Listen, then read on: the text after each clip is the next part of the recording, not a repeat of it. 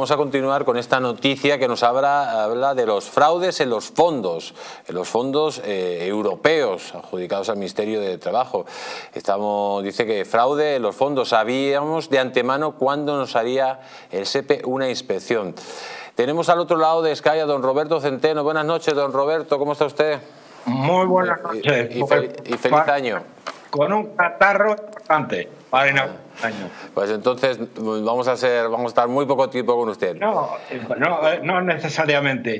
bueno, don, Roberto, cuéntenos esto de los fraudes en los fondos europeos. ¿Qué está pasando? Ahora, eh, ahora mismo, ahora mismo se lo cuento, pero hay una cosa que no puedo dejar pasar. ¿eh? que no puede dejar pasar usted. No, vamos a ver, que una de las personas que me ha precedido en el uso de la palabra, porque yo estaba escuchando, que dice que nadie ha terminado con ETA. Pero bueno, pero ¿cómo se puede decir esas cosas?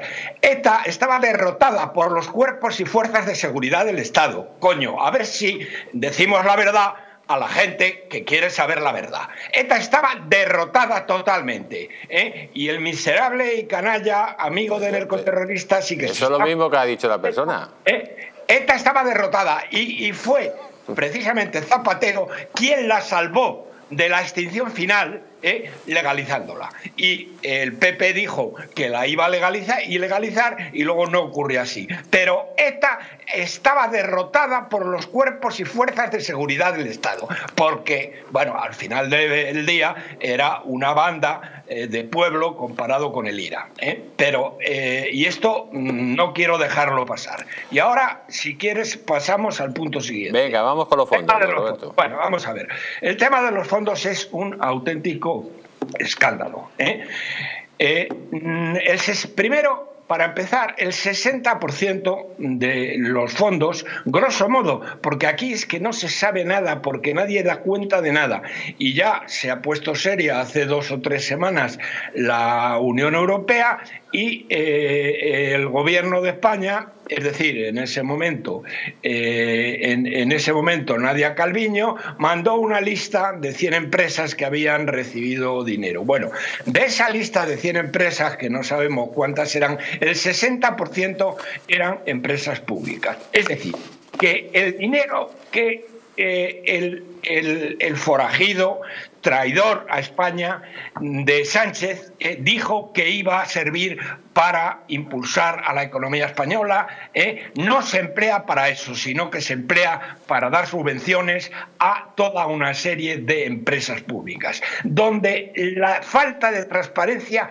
es absoluta y total. Nadie sabe lo que se lleva cada uno, nadie sabe ni puede garantizar a dónde va a parar quién es el beneficiario final del tema y se saben algunas pequeñas cositas. ¿eh? Una de ellas sí la quiero nombrar porque eh, es, esta es, es. ¿eh? Yolanda Díaz. Yolanda Díaz se sabe, bueno, Yolanda Díaz es auténticamente el premio Nobel de la estupidez. Acaba de decir que subir el salario mínimo interprofesional crea empleo, dice la doña. Pero vamos a ver, vamos a ver, Yolandita, pero es que eres tonta o te lo haces. ¿eh?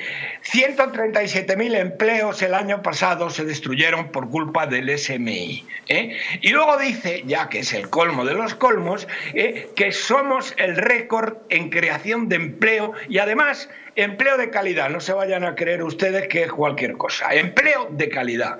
Dice, pero bueno, pero bueno, eh, señora ministra, pero ¿cómo puede usted decir eso? Si somos los líderes de la, de la Unión, vamos, del norte de la Unión Europea, de la OCDE Plus, es decir, de Occidente, los líderes de Occidente en destrucción de horas trabajadas, porque su analfabeta la creación de empleo no se mide el número de... Solo ha faltado usted decir su analfabeta majestad.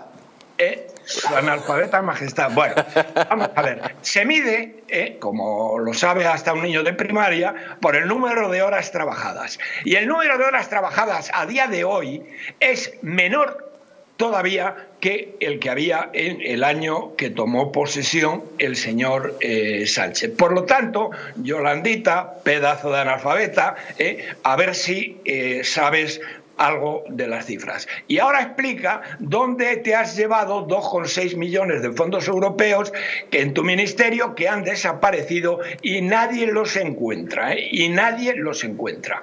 Eh, eh, bien, eso por un lado. Por otro lado, voy a, unir esto al tema de Nadia Calviño, aunque esto no lo puedo demostrar, pero hay una cosa que sí le puedo demostrar. Bueno, Nadia Calviño, como saben ustedes, la han nombrado presidenta del Banco Europeo de Inversiones. Un chollo acojonante.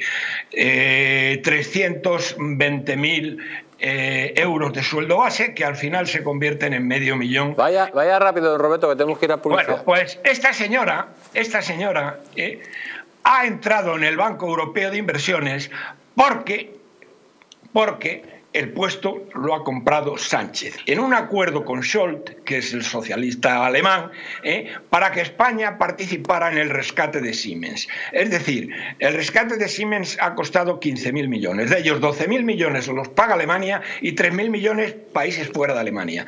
Eh, no sé cuánto, porque esto es un secreto de Estado, cuánto dinero ha pagado, pero de la misma manera que Viviana ido eh, costó 200 millones de euros que pagó Zapatero para entrar en la ONU, 200 millones de euros. Usted nos está diciendo que le hemos dado mejor mil millones a, a Siemen para que esta señora sea presidente del banco. Exactamente, eso es lo que estoy diciendo, probablemente más de mil millones. ¿eh? Y entonces que lo sepan. Y además, y eso ya completa el círculo de lo que estaba diciendo, eh, seguro que vienen de los fondos europeos.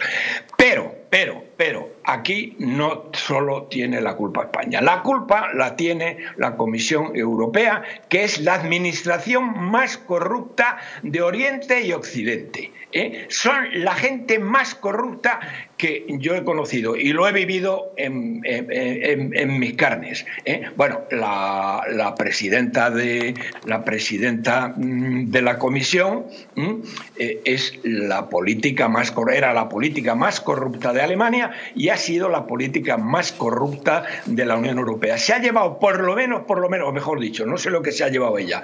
Su marido que forma presuntamente se ha llevado presuntamente, presuntamente.